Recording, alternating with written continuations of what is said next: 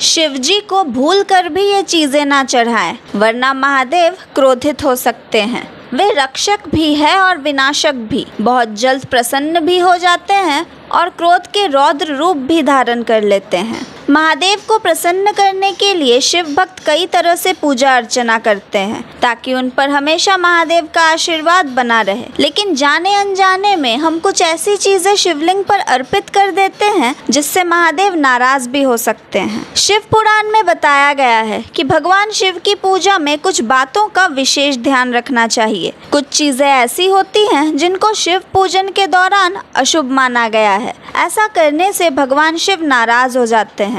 और पूजा का शुभ फल भी नहीं मिलता।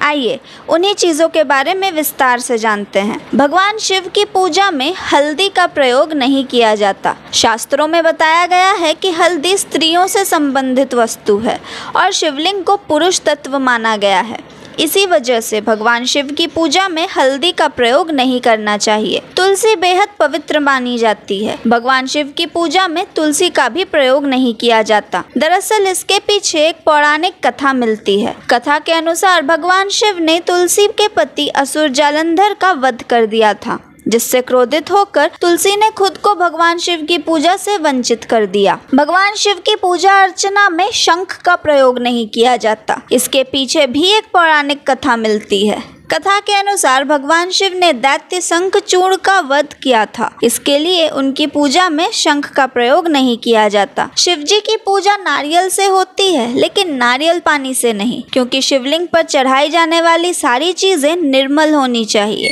यानी जिसका सेवन ना किया जाए। नारियल पानी देवताओं को चढ़ाए जाने के बाद ग्रहण किया जाता है। इसलिए शिवलिंग पर नारियल पानी नहीं चढ़ाया जाता। कुमकुम, सिंदूर और रोली से अन्य देवी देवताओं की पूजा कर सकते हैं, लेकिन महादेव की पूजा में इनका प्रयोग वर्जित बताया गया है। तिल या तिल से बनी कोई वस्तु ना चढ़ाएँ। यह भगवान विष्णु के मैल से उत्पन्न हुआ माना जाता है। इसलिए इसे भगवान शिव को नहीं अर्पित किया जाना चाहिए। लाल फूल का भी इस्तेमाल शिवलिंग पूजा में ना करें। वहीं ध्यान रखना चाहिए कि शिवलिंग पर हमेशा कांसे, अष्टधातु या पीतल के बर्तन या लोटे से ही जल चढ़ाएँ, लोहे या स्टील के बर्तन से नहीं। कैसी लगी यह जानकारी आपको? हमें कमेंट्स में ज़रूर बताएँ और देखते रहें धर्म संवाद।